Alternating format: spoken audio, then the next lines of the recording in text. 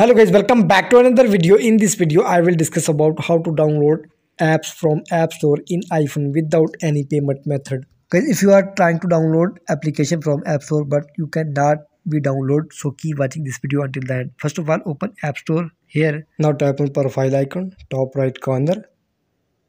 Here guys tap on apple id name. Wait for some seconds.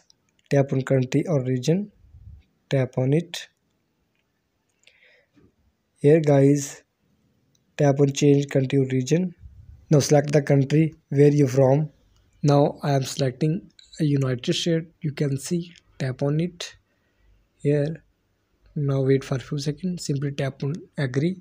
Now tap on agree. Now wait for a few seconds. Here guys this is the main part of this video. If you don't have any payment method any debit card simply tap on none option.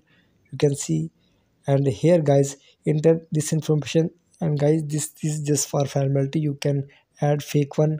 You can see appears on the screen. I am adding fake one.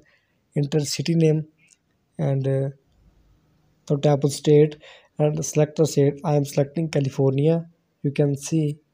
And uh, now tap on zip code. If you don't know your zip code and uh, you can search on safari with your city name. You can see. Enter uh, phone number this is uh, you can add fake, fake one no problem.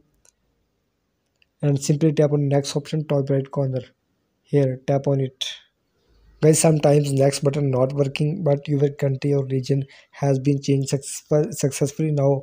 And simply guys close this window and reopen app store application. You can see appears on screen and search any application you want to download. Here guys now tap on it CapCut here you can see now tap on it. Here guys my CapCut application downloading success successfully you can see appears on the screen. Guys please like my video subscribe to my channel for the latest more updates